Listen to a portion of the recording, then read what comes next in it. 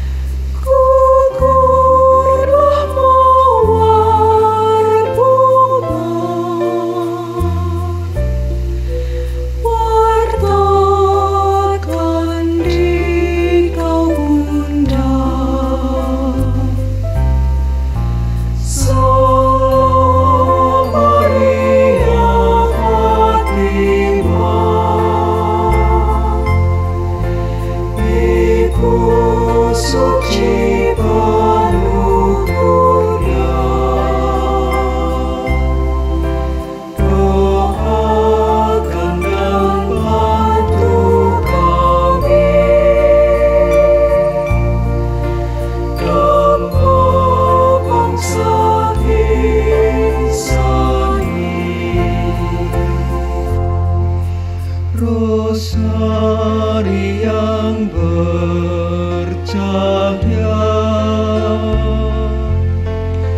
Ku terima dari Bunda. Janji keselamatan.